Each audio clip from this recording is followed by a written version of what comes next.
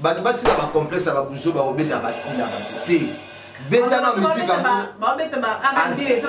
antuka nga mpenza nazomona yango eza na sens te fo mboka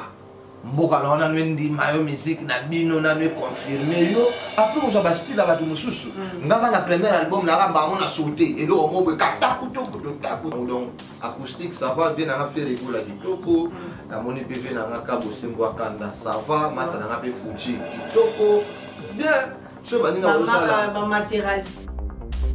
tatiana cruz atuka ngai nde eza wana baoyo to baosala musike na bango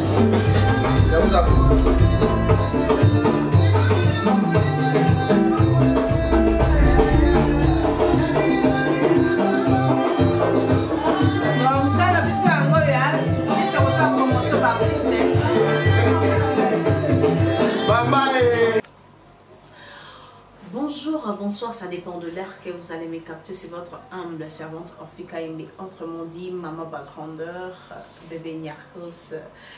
Dans mon émission découverte, je descends sur les lieux pour prendre les informations na source nde kaka nazala mwana mosala na bino na servaka bino mpona koinforme bino sur euh,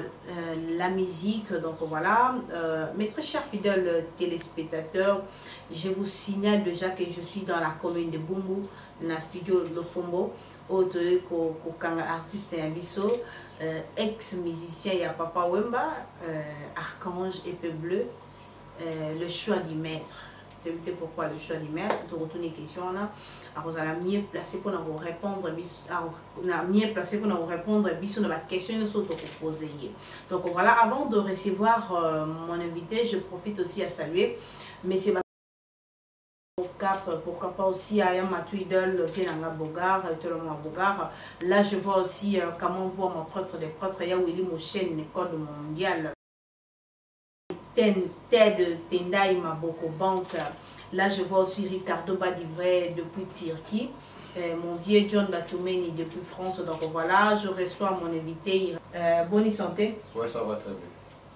Euh, évolution ya musique euh, ça se passe comment oui ça va ça va ça va tokokango na studio awa ozosala vraiment nini nini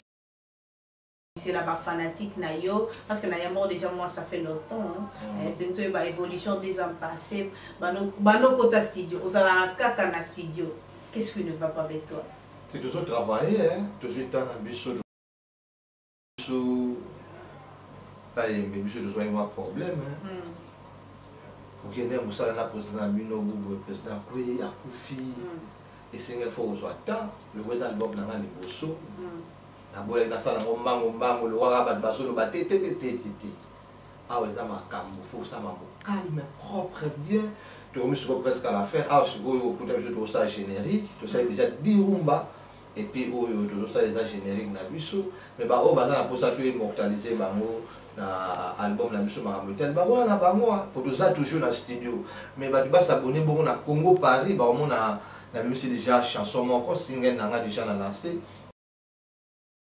nange chape na pesi mbote bongo esika aza na paris donc bato basabone na congo paris bamona wili lukana le baron bamona deja mosala kua awa na kisasa apres baconfinement bato bakozwa yango partout kua yango bato balingi bayeba featuring yango osalaki na échappe c'était comment kaka na ndenge azalaki na kin au bien ndenge ake na poto bosangisi baimage ou bien soki okendaki na poto omeka koexplike biso featuring yango esalamaki ndenge nini epuis relation nini ozanga parce que biso toyeba échappe na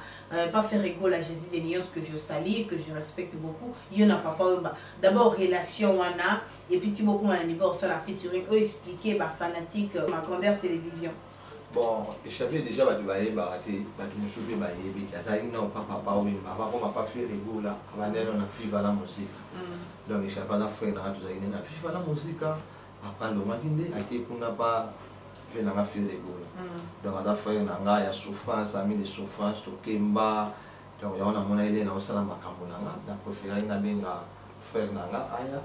toyemba lowa aza deuxièmiste nga aza mwa likolo mm. epuis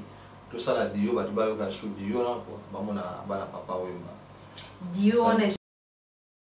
ya album na yo makambo na nga makambo etali donc nzembo wana eza libaron tozwi yango nde mpo bato bacomprendre quoi ce que yo moko selon yo moko featuring wana bosali na échappe est ce que accroché to accroché mais ça va déjà mpo na poto déjà ça va na bapala bato bato bazoyoka yango donc tokomi na bavie ebele donc ça va bato bazobenga donc ça va ba filles musu ba soma na bango na youtube eh, na poto bi na poto mais na kin awa rien te mais awa na to bande te awa to lobi après ba confinement donc soki ba déconfiner biso mm. et puis ba ba jouer na ba état nous so ya ke awa ni sasa pourquoi le go garder featuring wana na échappé aussi longtemps que oui mais on a studio pourquoi pour lancer qui on tombe aussi si ka ba finissage et là et là et là et là stratégie na nga hein, mais awa pe na kin déjà na eh, na ba quelques chaînes et les kaka et les mm. kaka pour ba comprendre on a flash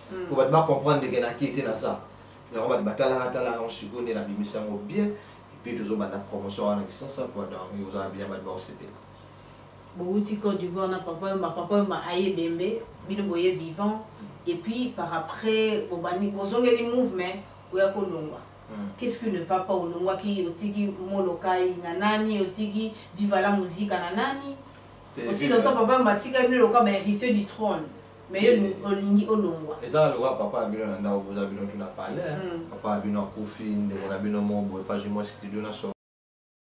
na famille hmm. ezaka one na famille donc eza lokola nga papa ake kopema me nga nazwi mwa studio na solo organise mpo naza mwana mobali obike bato fo bakomprendre ke papa wemba aza formateur des idoles hmm. aza leader ya monene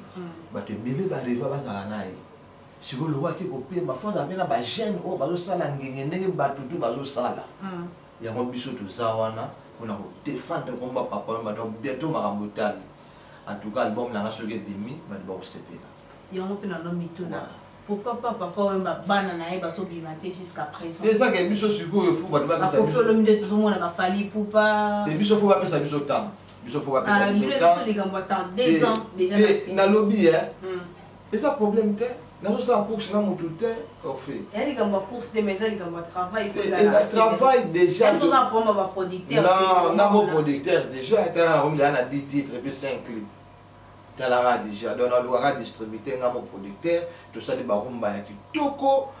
ba clip ya bien tobandi déjà relancer bon toyoka nanu avant continuer maloba parce que nakomo mense déjà so ekoma koma mokuwa toyoka mwasi moke mo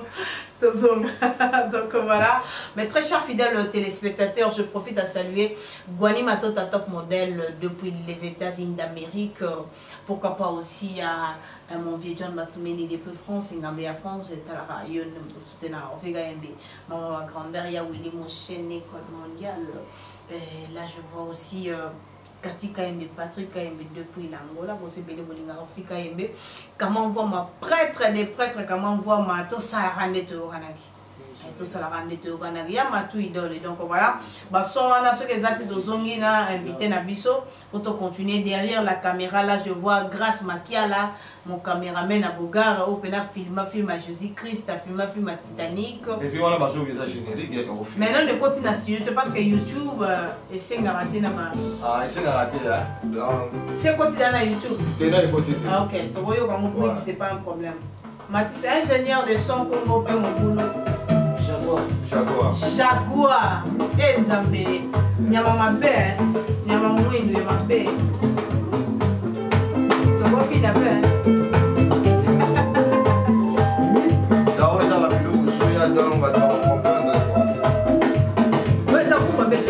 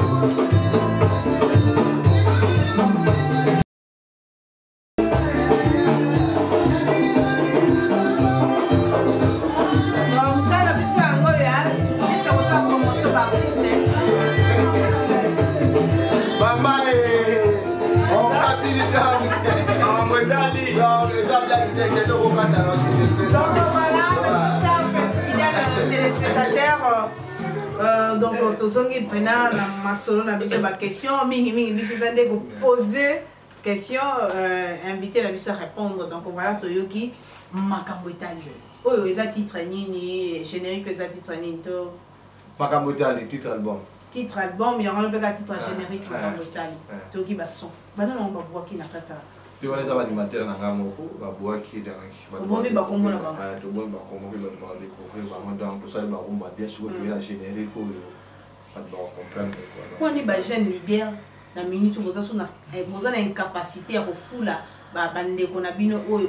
bazotravaille na bino ensemble biso nao tobimisi bamisi na biso na tele te biso nao tobandi baproduction te sikoyo tozobanda baproduction en général bon nayebi te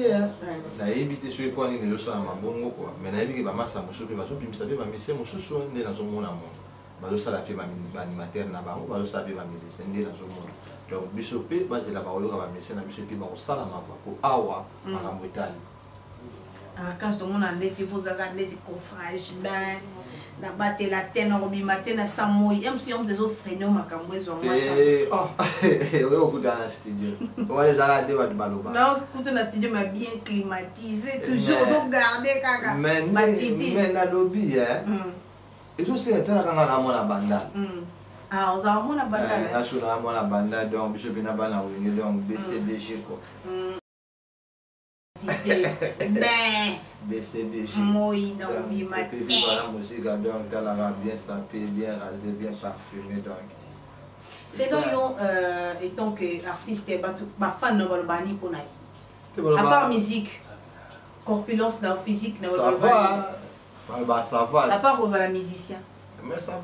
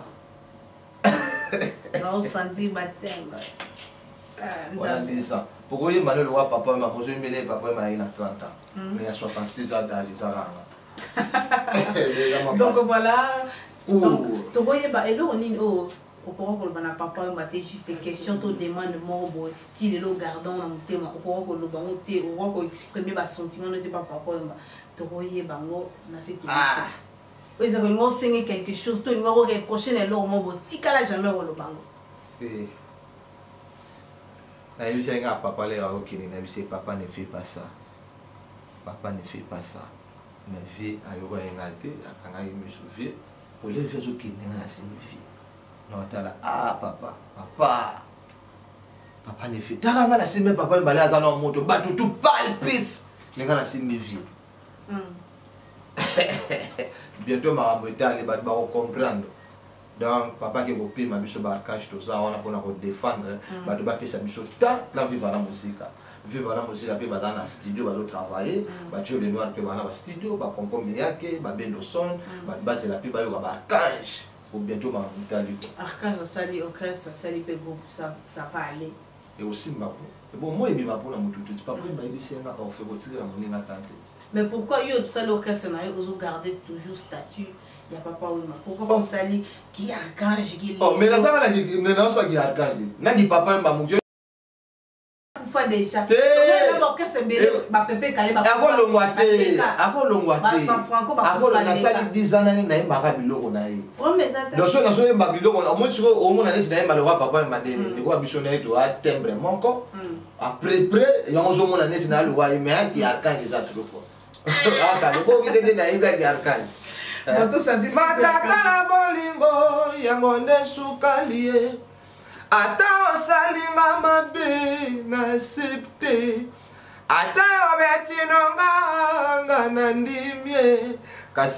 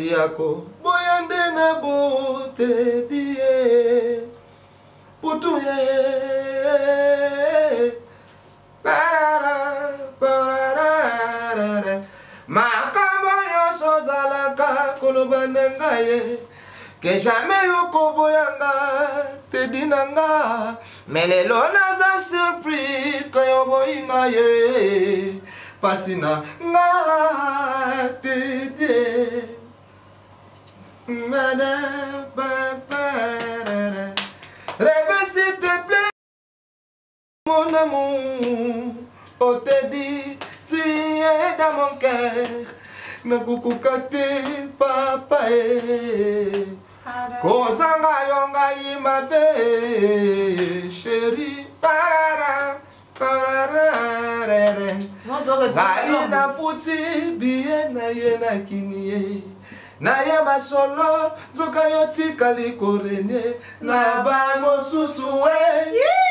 tedira badon wana eza babiloko donc bientôt makambo tali te esika toki bakokomprendreosanti bafranco ekiti na en tout cas eza grave makambo etali ozoka message na mélodie donc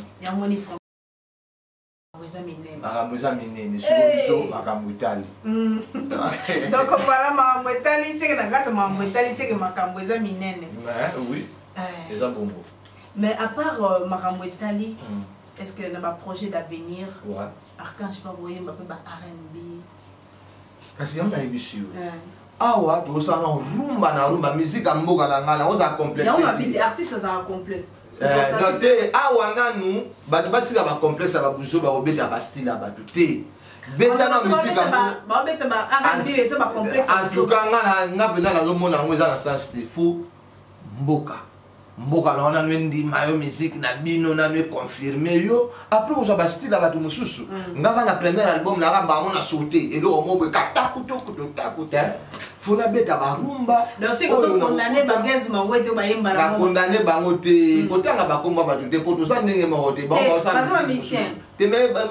nga na bango tobeta miziki moko te mm. nga na obeta rumba mais to ke baza ba ba frère na yo baza ba frère na na boyi te ba ba poni na bango style wala mais nga rumba mm. omona te ba fait de gola rumba ah, ana sentir yo déjà yo eh, alobi bongo te oyoka te bafali ipupa barumba oh, eh, abetaka rumba modernise mm. osokoba donc voilà mikolo eloko eza na actualité eza acoustique mais to sentir archange na acoustique te te ba biso nde toza boye tozosala yango mais obimaka na poto samedi oyo deja tokosala yango epuis biso toza toza toza na, na rumba na biso eza wana mm. bato bazwa ntango ya koyoka rumba yanga na frere nange chape mpo toyemba danger mm. bato bazwa vraiment temps bayoka yango epuis awa na kini après baconfinement mm. bato bazozwa yango na baetando nyonso ya iker donc bato bazwa temps na bango donc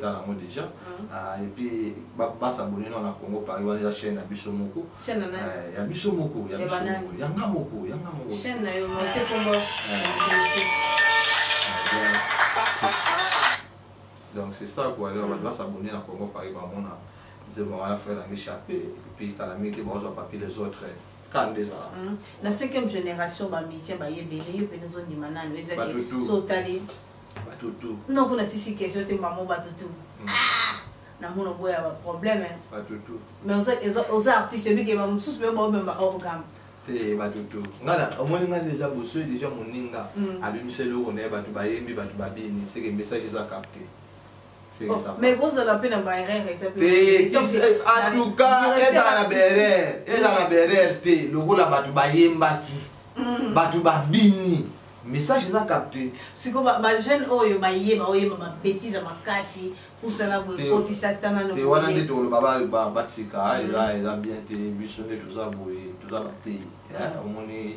bato ebele batalaka biso bafamille ebele etalaka biso to mokambo ya kobongisa eloko wana akokolance message na baartiste nyonso oyokana bayemba betise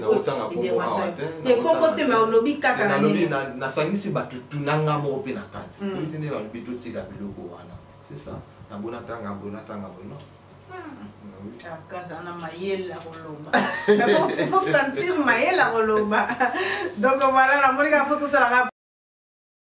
tozozela makambo etali eh, ekobima quand vraiment sorti officielle bon awa toza na kaka na basingle mpo bato bacomprendre biso mm. epuis soki toaccroche baumba na biso bato bayoki yango bato babini epuis wana nde bato bakozwa intercaltale bon awa après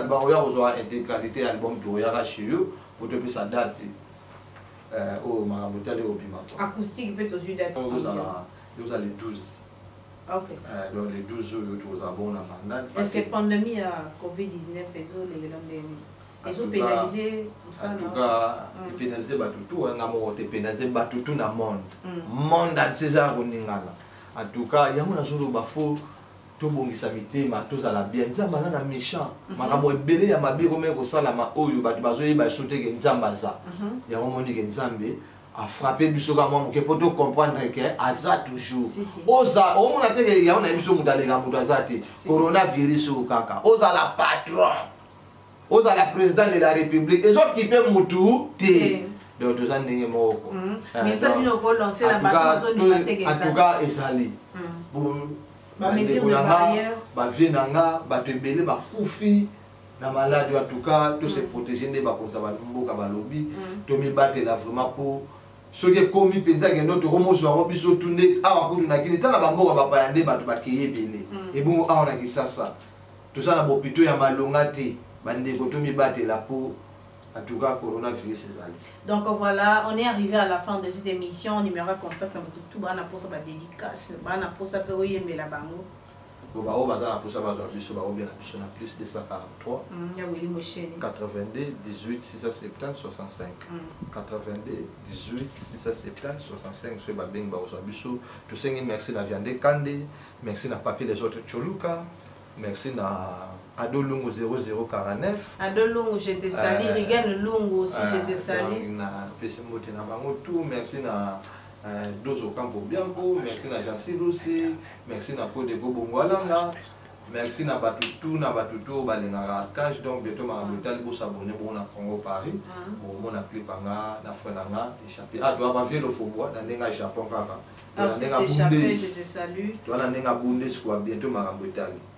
mpe nanga lofombo na base so tosisi émission mpe na arcage nga na yo tokosolola mboka mboka ndenge ezalaka donc voilà je profite à saluer bato tout basuti na ma grandeur télévision ramses bosa lebo clim donc voilà euh, pourquoi pas aussi à émilie bumbu ricardo badive voka makengo depuis tiri grand pote atikazaka moko tedi putu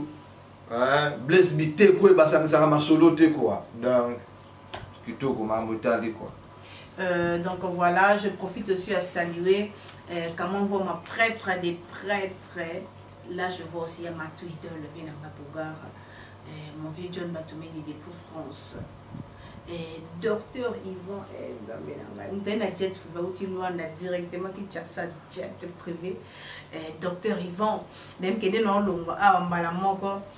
nake vanda place moko boye donc se sentir ndeti naza place mosusu mais toyaka na congo donc voilà docteur ivan ya yo yango donc so okutani ka boye mama bonjour na ye eza na 100 dollars docteur ivan donc voilà merci beaucoup des gros bisous euh, ba séjour malamu na kinshasa donc voilà bo s'abonner massivement na ma grandeur télévision donc bisous bye tala okokisi nga na kimpwaka mama yeba yeah,